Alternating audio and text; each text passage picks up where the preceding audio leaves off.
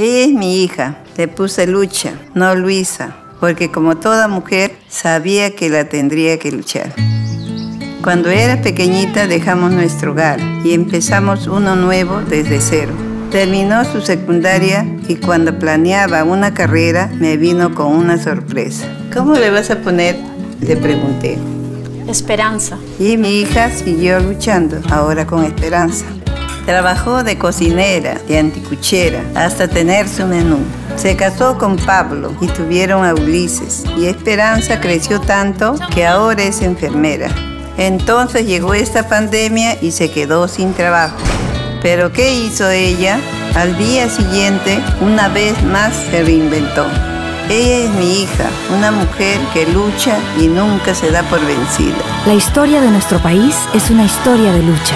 Lucha Perú, no hay nada que nos detenga. Gobierno del Perú, el Perú primero.